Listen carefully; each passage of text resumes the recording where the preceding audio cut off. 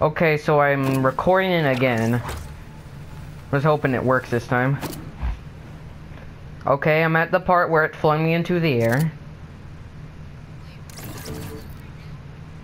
I'm recording the um glitch.